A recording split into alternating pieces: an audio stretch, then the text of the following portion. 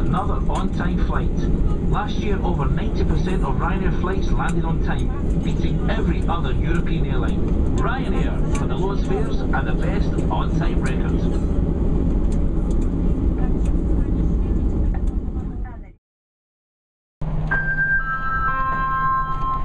Final call for the AFA 4192 to Milan Bergamo. Gate closing now, gate 49.